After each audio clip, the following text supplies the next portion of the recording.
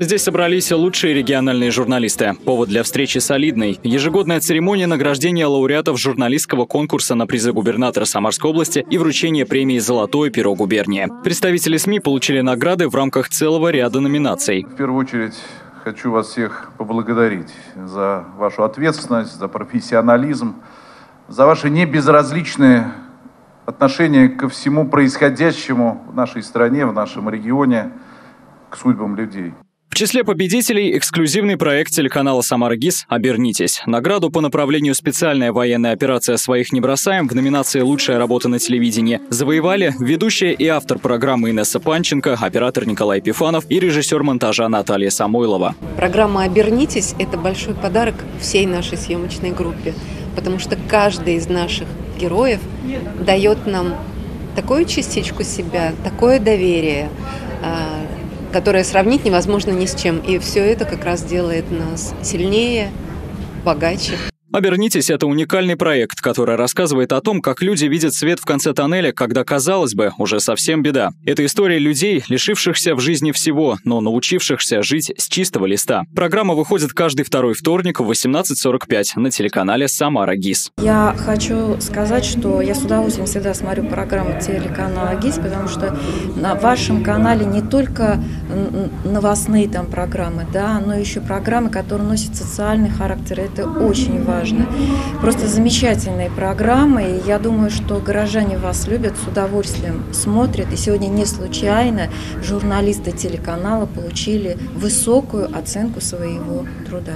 Творческая группа телеканала также удостоилась специального приза за высокий профессионализм, большой вклад в освещение проекта «Информационный фронт» в рамках всероссийского мероприятия «Парад памяти-2022», а также успешную реализацию проектов по теме «Специальная военная операция». Коллеги, спасибо большое правительству Самарской области и Союзу журналистов. И отдельно я хочу поблагодарить сотрудников телеканала «Самара ГИС», особенно интернет-отдел и журналистов-телевизионщиков, которые несмотря ни на что, работают в режиме 24 на 7. Совершенно адекватно и спокойно реагируют на ночные звонки, мои в том числе.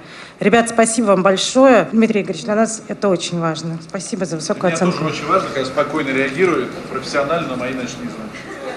Сегодня Самара ГИС – один из самых оперативных информресурсов в регионе. Мы одними из первых рассказываем жителям о том, что происходит в областной столице. Ежедневно в эфире первого городского телеканала все главные новости Самары. Актуальные события и судьбоносные решения, эксклюзивные интервью и комментарии экспертов, прямые включения и трансляции самых ярких моментов из жизни большого города.